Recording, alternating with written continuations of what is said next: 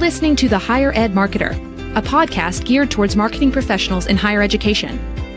This show will tackle all sorts of questions related to student recruitment, donor relations, marketing trends, new technologies, and so much more. If you're looking for conversations centered around where the industry is going, this podcast is for you. Let's get into the show.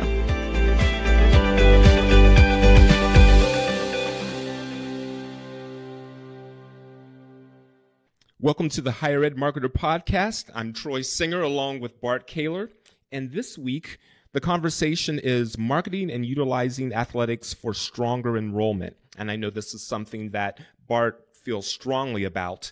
Today, we speak with Jim Carr, who's the president and CEO of the National Association of Intercollegiate Athletics, also known as NAIA.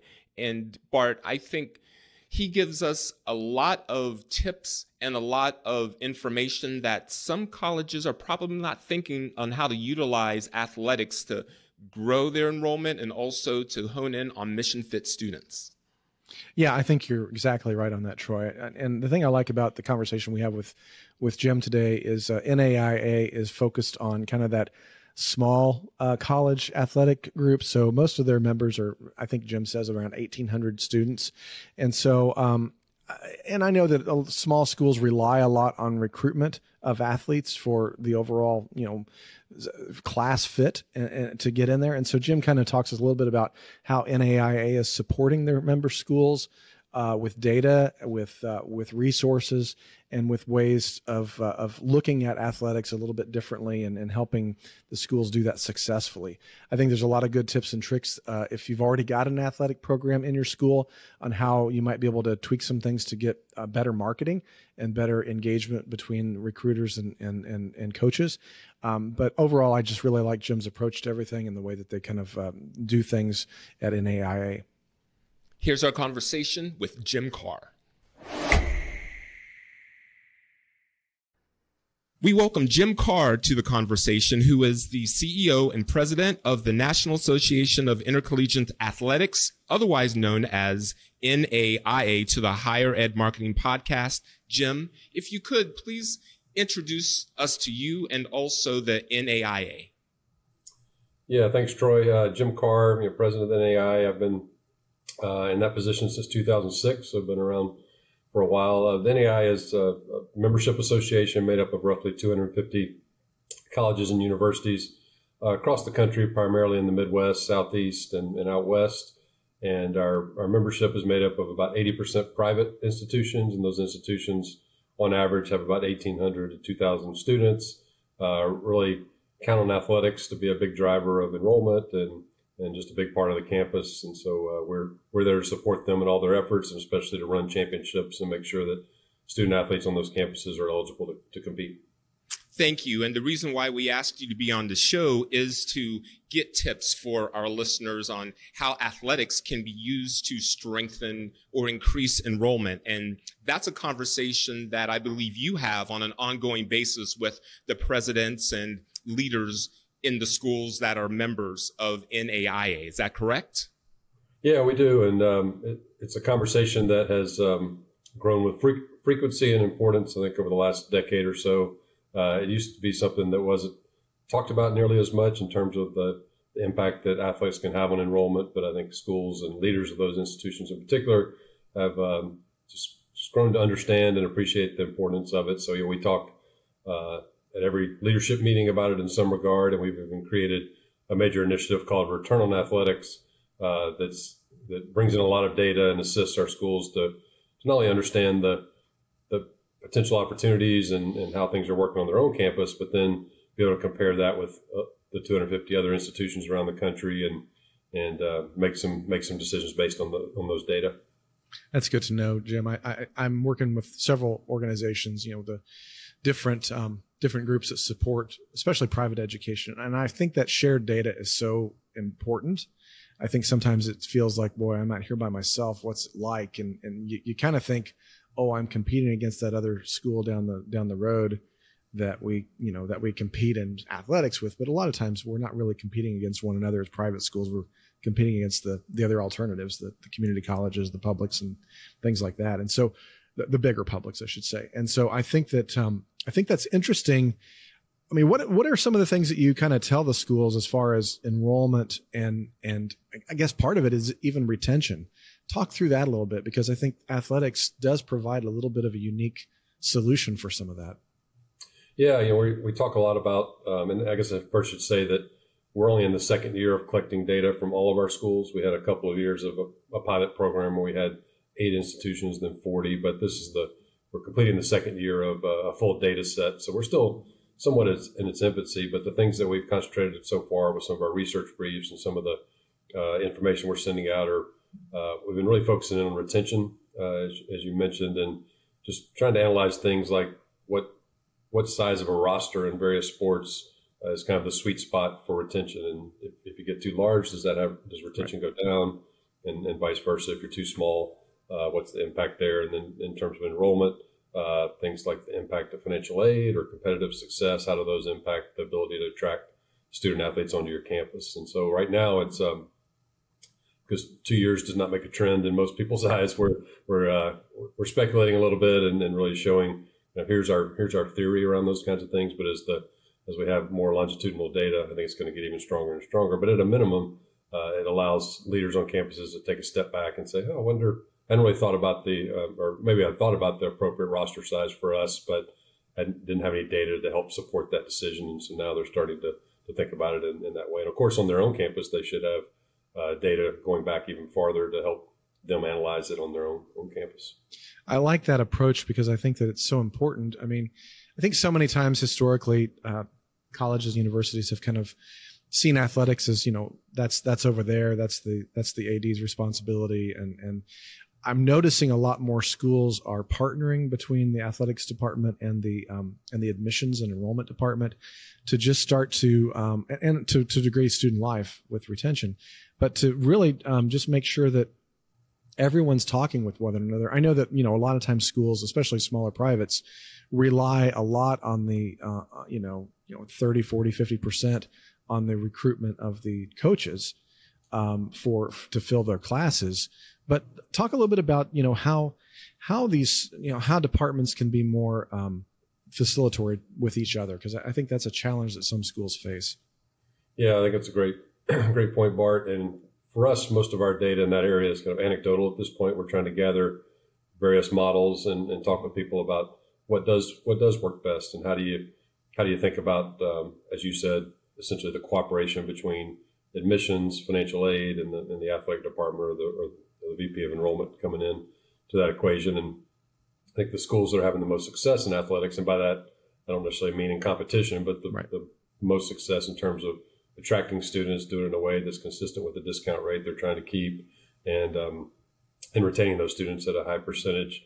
Those those schools tend to, to have great integration between the admissions and the enrollment side of the house and, and athletics, and it can be structured in many different ways. Some even put their athletics department, most of the coaches embed them in the enrollment area, where others uh, just have cross functional uh, integration in, in some way. So there are a lot of a lot of ways to do it, but the, the schools who are, are not very effective at, at uh, that cross communication and that integration are, are, finding themselves struggling more so than the, the other schools. Okay, good. And I've got a few more questions about the business of student athletics. Before I get that, before we kind of move away from this data point, is there a place that people can access this data, or is that for members, or how does that work? It is. It is right now for members. Mm-hmm. Members only. It's a member benefit.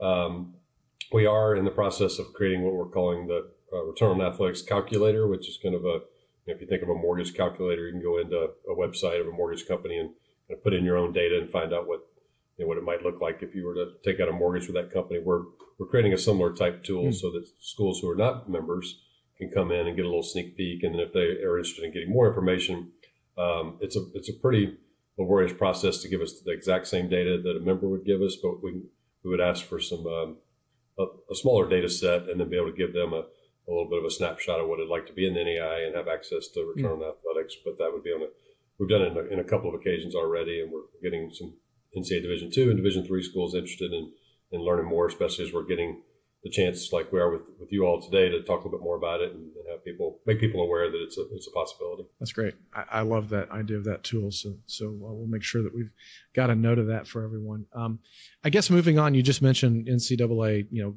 two and three divisions, and I know that um, the way that NAIA approaches things you know a lot of people are familiar with NCAA and and that's kind of the de facto. But tell me a little bit about the the different approach that you take. You know that that people might not qu- quite fully understand.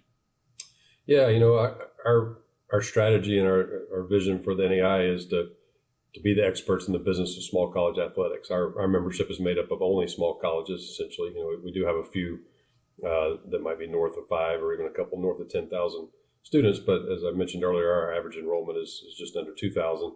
And so um, the ways in which those kinds of schools use athletics is very different than you know, pick your big state school, University of Oklahoma or University right. of Tennessee.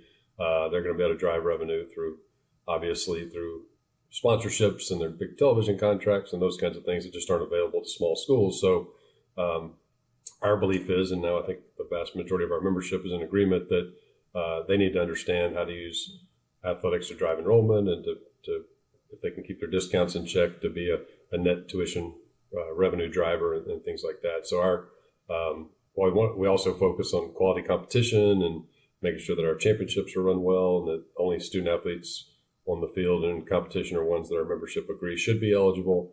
Um, kind of the st- what people think of as the standard uh, role of an athletics association. Those things are still really important.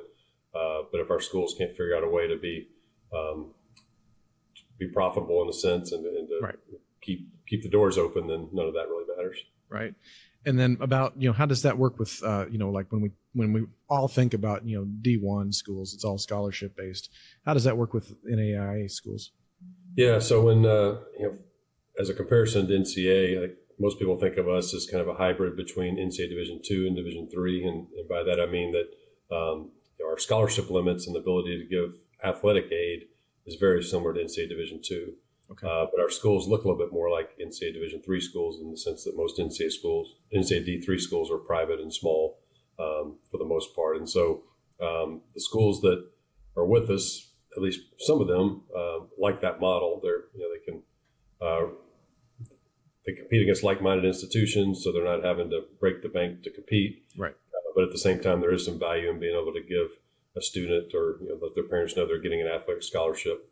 And people can draw their own conclusions about what that says about society that some value an athletic scholarship more than an right. academic scholarship. But I think that's just that's just the way it is these days. And so yeah, schools are able to use that to their advantage in a strategic way, and it's uh, it's really a nice fit or a niche for NAI. Good. Jim, when I think about collegiate athletics, right now, image and likeness comes to the forefront and I'm not sure if it's accurate, but when they first announced it, I thought that's going to give the bigger schools advantage over the smaller schools because the smaller schools might not be able to offer as much or offer some of the same things. Could you speak to how smaller schools are taking advantage of the image and likeness rules? Yeah, and Troy, I think your your your assumption is correct in the sense that there are just more dollars available, and you know the economics are different at the big schools compared to compared to smaller schools, but you know what we're seeing in the NAIA, we eliminated all of our restrictions around name, image, and likeness about three or four years ago, uh, kind of a year, year and a half before the NCAA uh, got to that place, and, and, we were kind of forced by the by a number of states who passed laws.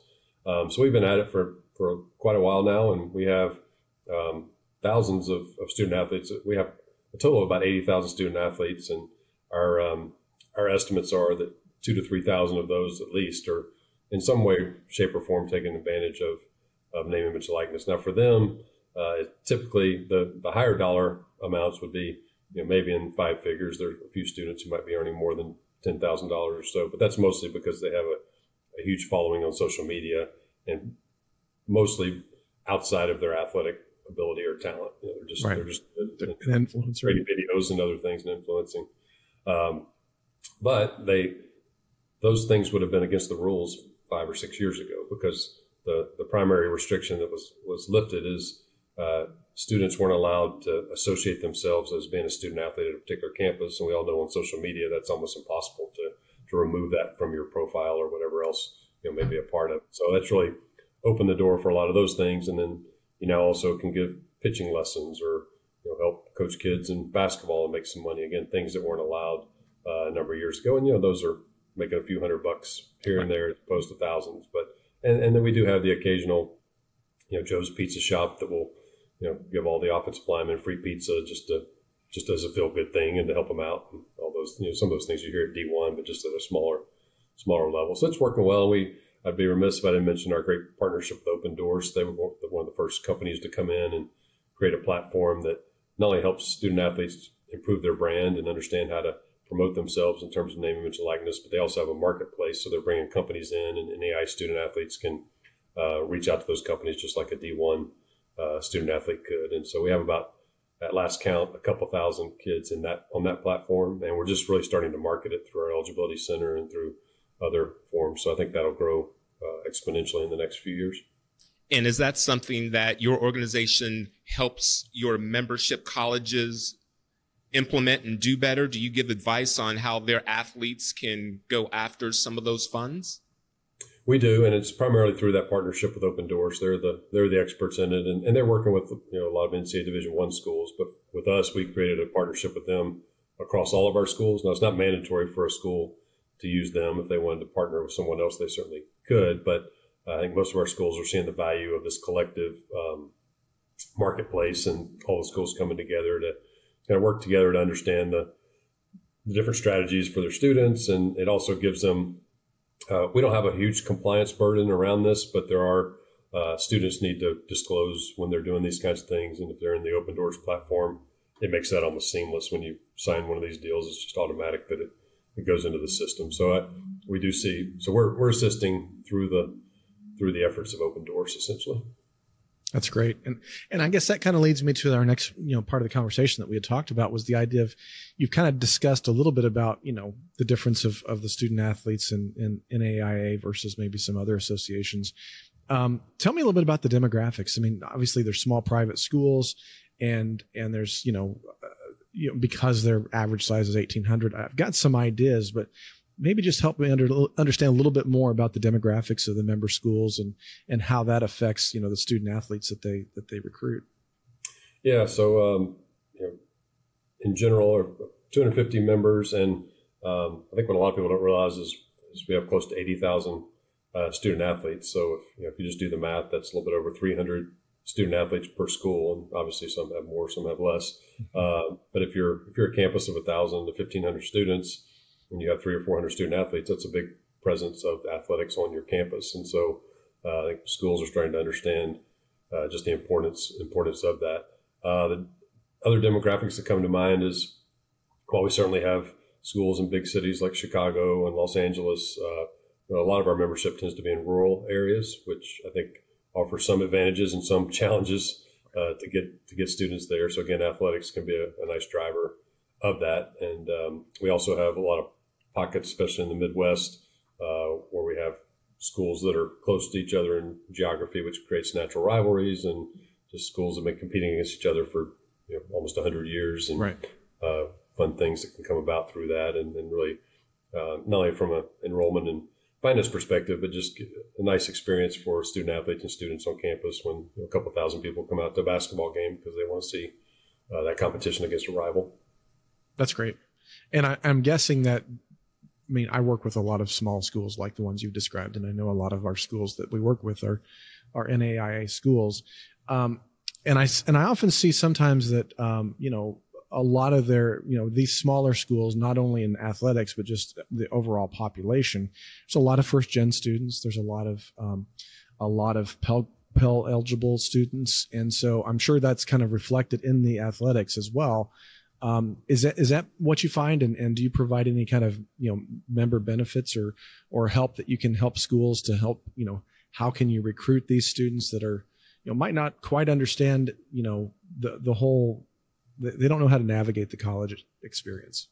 Yeah, I would say Bart, the answer is yes in terms of first gen students. I mean, they're a big part of athletics, and we're but we're just starting to uh, as the tip of the iceberg is an analogy that comes to mind. We're, we're just starting to have some good data around that. And the first area is retention. We, we did a comparison of first gen uh, student athletes compared to uh, all other student athletes in, in, the area of retention, and the, first gen students actually retained at a higher rate uh, than the non first gen. So we were pleased to know that, and now part of the equation is you know why is that? What are our schools doing well to retain them at a higher rate? And, you know, we want to improve retention for all subsets or you know, people overall. But I, I, I, was very encouraged to to learn that um, right off the bat, and, and, we again want to help schools to understand what's working and, and, why that's happening. In terms of how to attract more first gen students, we uh, that's certainly something that's on our, our list of, of areas we want to tackle, but we just haven't really gotten to that yet. Yeah, that's great. And I, I know a couple weeks ago we had uh, the Lumina Foundation for Education on the podcast, and they, I've done some work with them over the years, and I know that they, you know, have done some initiatives around first gen students. And one of the important things that they they identified and discovered in some of their research that they support are, you know, these different cohorts that that um, you know first gen students can get involved in, and how being in a being in a specific cohort sometimes can add you know stickiness and retention to those students because you know come end of semester they're not they're not if they're already in a group or a cohort they're not one to just kind of bail um, because they're just not making the fit. And uh, it seems to me like student athletics really kind of often serves that natural cohort. Is that kind of what you think too? Yeah i agree. That's a that's a great point and um, you know, something we can certainly explore and hope our data will support that. But it, it does um, intuitively that seems like a a, a, conclusion that I would I would agree with in the sense that you know everyone wants to belong somewhere, right. and if you're a first gen student, it's it's not something that's uh, been talked about in your family as you were growing up, and just, it's all brand new to you as you get to the campus to have a have a built in family or a built in cohort uh, certainly certainly helps, and we know that for the most part, our coaches.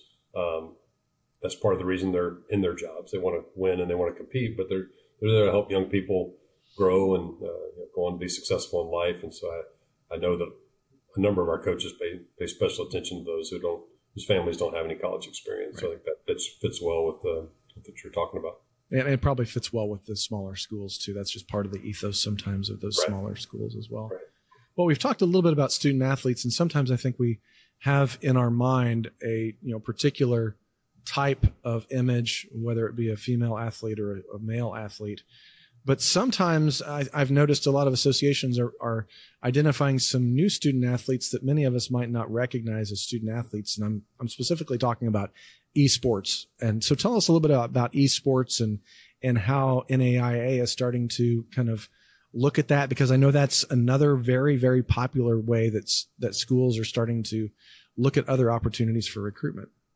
Yeah, I love to talk about our esports efforts and uh, audience can bear with me, I'll go through a little bit of the history of it. And back in uh, 2016, I guess six years ago, it's hard to believe it's been that long, but um, we knew of six institutions that were uh, jumping in to start esports as a varsity sport, to use a traditional uh, word in, in sports. So, meaning they were starting to recruit students onto campus as opposed to just students who are already there, allowing them to play uh, various esports. So, we we brought in these six institutions and said, well, why don't we start a an association to support esports. Now, starting a national association with six members is, is, is, a leap of faith that you know hoping that others will join. But the you know the, the there was pretty good evidence that it was going to grow pretty quickly, and so five of those happened to be NAI schools. One was an NCAA Division two school, uh, but they all agreed to join, and so we we just kind of started going down the path. not sure exactly where it was going to lead us, but fast forward to today, uh, we have about 200 member institutions.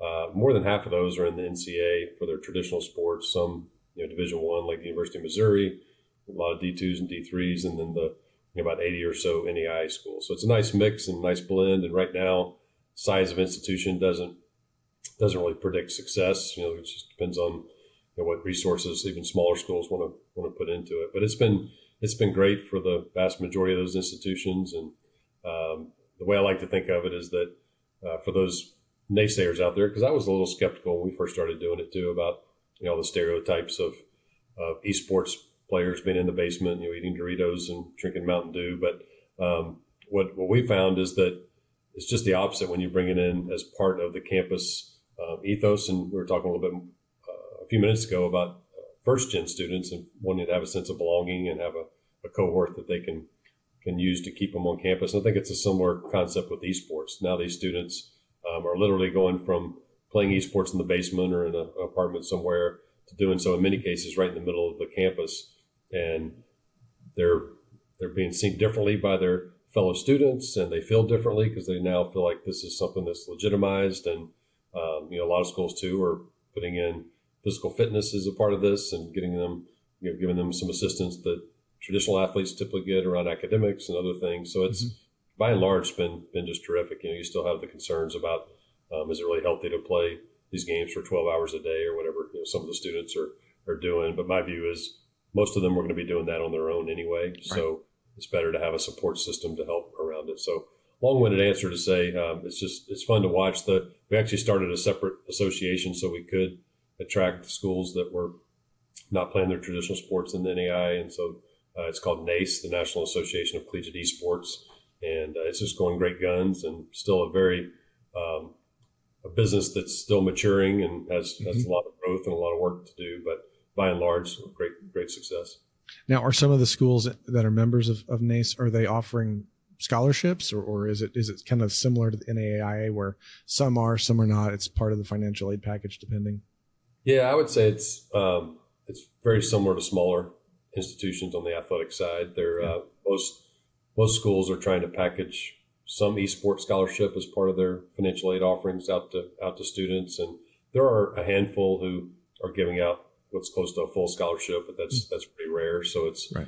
um, you know stacking on top of academic aid and other aid uh, with the, maybe a twenty five hundred dollar esports scholarship, or mm-hmm. you know, some are given more than that, but it's, it's, it's definitely a partial scholarship model.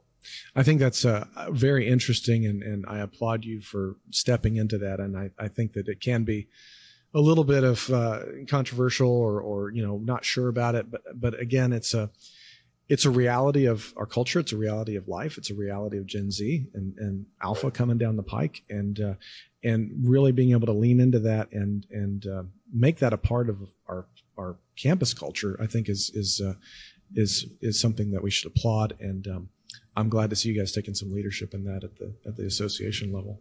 Yeah, well, thanks. It's it's exciting, and um, you know, I, I, sit on that board, and I'm by far uh, I know the least about esports of anyone else on the board. so I'm glad that the rest of them are there. But I hopefully I can add a little something from running an association, and just it's it's just a lot of fun to watch and to be a part of. That's great.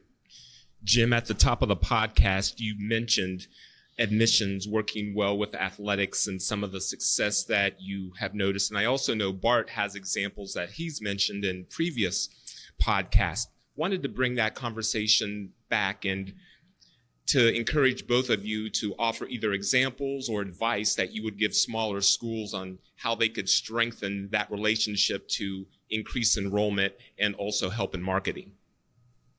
Yeah, um, you know, one one institution that comes to mind, and I, you know, I can't tell you a ton about the exact structure on campus, but Morningside College is a great example to me. They uh, came over to the NAI over 20 years ago from NCAA Division two, and in their Division two model, they had uh, about 800 students total, and about half of those were athletes, and many of those were getting full scholarships. So, with the way the president, John Reynders, who's about to retire, um, explained it to me, is you know the, the 400 non-athletes were were uh, having to support the school and, and, kind of carry the 400 athletes who were getting, uh, in a lot of cases, full scholarships. And so they came over to the NAI and built a model where now they have about 2,500 students and still have a lot of student athletes, but as a percentage, it's much lower. So I think they have five or 600 student athletes. But he talked a lot about the importance of um, partnership between admissions and enrollment and, and the athletic department. And the, you know, the, the coaches understand on the front side that they're going to try to help them win, and they have. You know, they, just won our football championship, and they've won um, at a lot of levels in a lot of sports. But um, for, for Dr. Reynders and for the, the leadership on campus, the important thing was, you know, how do we keep uh, how do we move forward with athletics in a way that supports the institution? And so the coaches also understand that you know it's just not an open checkbook that they have to to do it in a responsible way, and that they're going to give a good bit of aid to one student, they need to attract some students that don't need as much aid to come to come to campus. So that's one specific example of how it worked. And then um, I know there are other institutions, as I mentioned before, that um, actually put coaches into the into the admissions office. And I think it's an it's an interesting model. I'm sure it has some challenges, and I I don't uh, have as much uh, interaction with admissions folks or enrollment people, but I know there will be probably some who might think that's a bad idea. So I know you have to have to figure out how to do it on campus with politics and other things. But I think um, I think as Bart said earlier, coaches there's it'd be hard to argue that coaches are, are, not the best recruiters on campus and know how to bring kids in. And so it seems it would seem to be uh, a shame if you didn't try to utilize that ability and that talent and that expertise and in some way to attract students in general, and you know, even use some of those uh, tactics and strategies to attract non-athletes. Yeah, and I and I think too, Jim. I'll add to that that I believe that sometimes the campuses that I see that are the most successful in integrating athletics and, and enrollment together are those that um, align uh, all the way from from the top down on on mission fit. Um, because I mean, I think that uh, it's it's so critical, especially at some of these smaller privates that that are uh, very mission oriented. I mean, every school is mission oriented. Uh, sometimes it's it's you know academic is the mission. Sometimes it's you know faith is the mission. There's different ways that you can define mission, but I think that having alignment throughout all of the faculty staff, including coaches and recruiters, on what are the best students that are actually going to you know flourish at our institution, and um, sometimes that's that's uh, you know there there are some tough decisions to make in that but i think at the same time at the end of the day a, a, coach that can retain a student from freshman to senior on the on a squad or on a on a roster is really going to see more success on the on the or on the field in whatever they're doing. Um, and and that's why I think it's so critical that you know mission fit students are the ones that get recruited. And I think that just uh, adds adds value for everybody. I mean you know the last thing a student wants to do is end up at a at a school that wasn't a good fit for them um, and and nobody wants that. And so I think that a lot of times that success works well that way too. Right. I, I agree 100% and you know, fit is important. As you mentioned they're every school has a mission but they're very different depending on the institution and where you are. And one thing you said triggered for me. One of the things we're trying to do with Return on Athletics is is help people understand that um, driving enrollment through athletics and doing it in a financially responsible way doesn't mean that, that you can't be competitive. That it, right. you know you can do both. And we're we're finding a lot of institutions that are um, having the most success in competition are also uh, finding success in, in driving enrollment and, and on the financial side. And we're we're trying to help them understand the what's the what's the cause and effect there, and what's the what's the connection. And, you know, because we also have schools that are spending a lot of money on athletics and not having success. And I, I would, you know, an obvious thing to point out is everybody can't win. Somebody's going to win and somebody's going to lose in each competition. But um, but I think you know most of our institutions can be competitive and do it in a way that uh, helps helps the financial impact on campus. Great, Jim. As we bring the this episode to a close, we'd like to ask you if you have either an impactful final thought or a quick tip that you can offer as it relates to strengthening enrollment and admissions through athletics that you would like to leave before we close our podcast. Yeah, um, Troy, I don't know if it's anything new from what we've already talked about, but I, I it just seems to me for institutions that look like NAIA schools, and by that I mean schools that are around 2,000 students and um, primarily private institutions. Um, this this topic that we've essentially been talking about for the full podcast around how does athletics have a positive impact on the campus broadly? Uh, if, if schools aren't paying attention to that and they're in that category, it just seems it, I, I can't understand why, and I think they're putting themselves in maybe not in danger of uh, of extinction, but but certainly um, are not exploring all the ways that they can be viable and, and sustainable over over time. And so um, I know there are some presidents that still aren't on that on that train yet, so to speak. But uh, you know, as I go to CIC, Presidents Institute, and other places, it's it's certainly obvious that more and more are thinking about it. And so if if there are any presidents out there or people in leadership positions on campus and they want to understand how we're looking at that data and the things that we're we're trying to do to help our, our institutions, we'd love to talk with them, whether they're, are in a position to potentially join the NAIA or not. Uh, you know, I, I think we have some sense of responsibility to, to, just make sure people understand that better. And uh, we have a, I guess, a greater responsibility to our own members in terms of uh, sharing the data and things like that. But it's a, it's an area that I'm passionate about and I think is critically important. And so the last thing I would say on that is whatever your model is that the, the cross section, the integration, the communication between athletics and, and enrollment just continues to be more and more important. Thank you, Jim. And for those presidents or anyone else that would like to get more information about NAIA uh, or contact you with further questions that they have after hearing the podcast, what's the best way for them to contact you? Yeah, through our website, naia.org uh, is the best. And my contact information is on there, but it's just jcarr, J-C-A-R-R at naia.org. And uh, love to hear from anybody out there who has more questions and uh, certainly could set up a call or a Zoom meeting if, uh, if that's of interest.